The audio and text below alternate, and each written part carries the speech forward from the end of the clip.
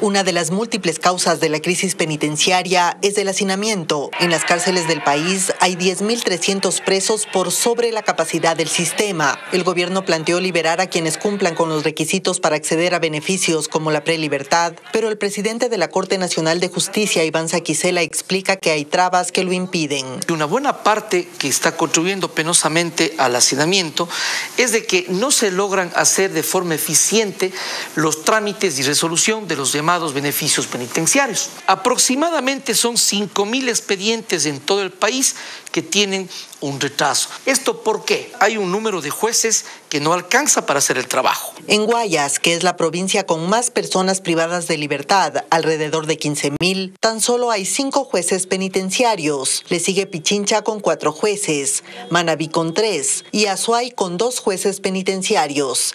Es decir, que a nivel nacional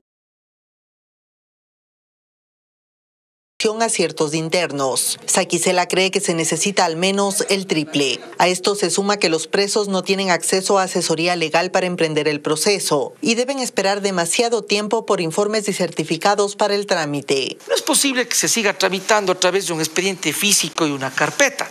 Tenemos que modernizar.